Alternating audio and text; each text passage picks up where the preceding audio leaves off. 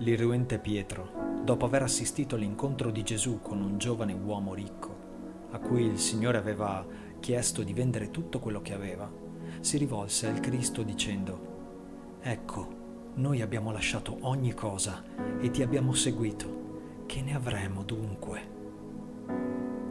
La richiesta di Pietro si fonda su qualcosa che è indiscutibilmente reale.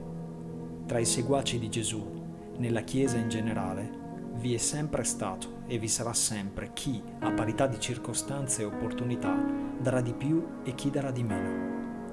Ogni appiattimento in questo senso suona sempre forzato, se non ipocrita.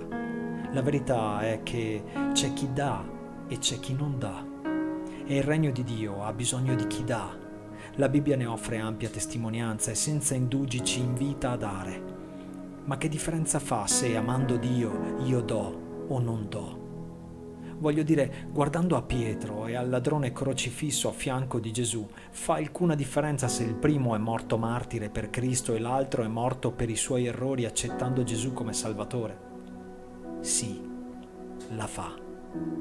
Al centro della teologia della sofferenza, le scritture ci insegnano che uno dei principi controintuitivi del cristianesimo è il seguente se rimarremo fermi nella fede in colui che salva nel mezzo della prova e della sofferenza, se serviremo il nostro Dio con passione, noi saremo ricompensati, non dimenticati.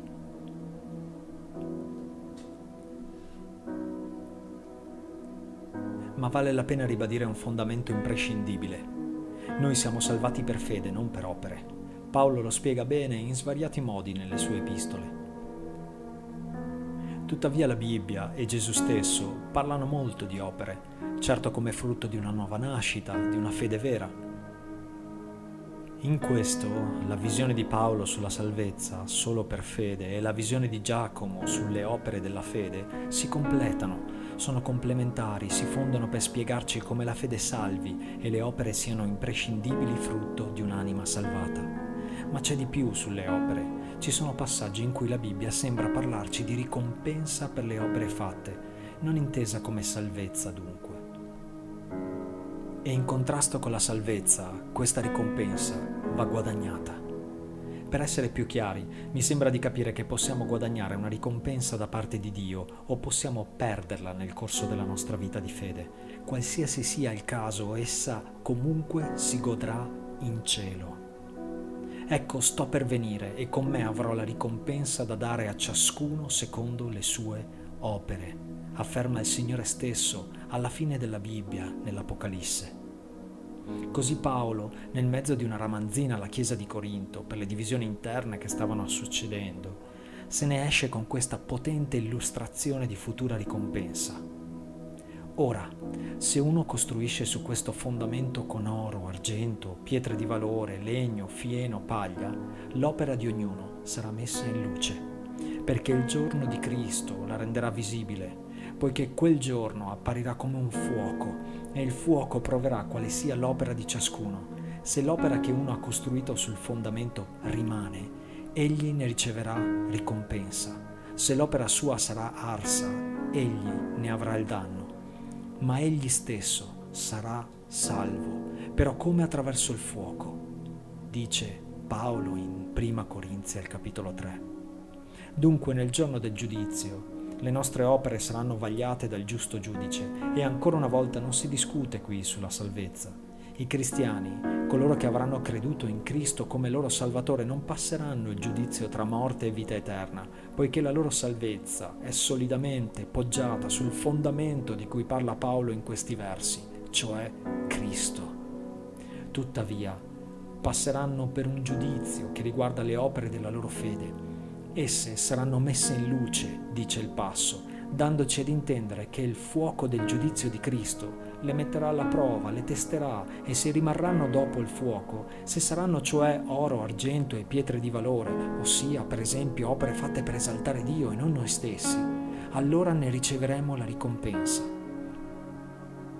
Se invece saranno arse come legno, fieno e paglia, ne rimarrà il nulla, solo cenere, poiché saranno state superficiali forse frutto di esercizi religiosi vuoti, prive di amore, magari non malvagie, non cattive, ma autocelebrative, rituali legalistici e cavernosi. Quindi il giudizio dei salvati sembra riguardare l'assegnazione di diversi gradi di premio. Dio è così buono che risponde alla nostra silenziosa ma ingombrante domanda interiore. Ma se mollo tutto per seguirti, se vivo una vita di amore per gli altri più che per me stesso, che cosa ne avrò io? Certo, è una domanda egoistica, ma l'uomo lo è per natura egoista. A guardarla con onestà è una domanda umanissima e la risposta sembra proprio essere autorità e onore. Ecco, noi abbiamo lasciato ogni cosa e ti abbiamo seguito, che ne avremo dunque? Chiede Pietro, e Gesù disse loro, io vi dico, in verità che nella nuova creazione, quando il figlio dell'uomo sarà seduto sul trono della sua gloria, anche voi che mi avete seguito sarete seduti su dodici troni a giudicare le dodici tribù di Israele. E chiunque, chiunque avrà lasciato case o fratelli o sorelle o padre o madre o figli o campi a causa del mio nome, ne riceverà cento volte tanto ed erediterà la vita eterna. Conferma questo il Vangelo di Matteo. Queste ricompense dunque non rimpiazzeranno ciò che abbiamo perduto, ma là, nella pienezza e nella gioia perfetta della salvezza, alla presenza del Re, tali ricompense sovrabbonderanno ciò che avremo perduto.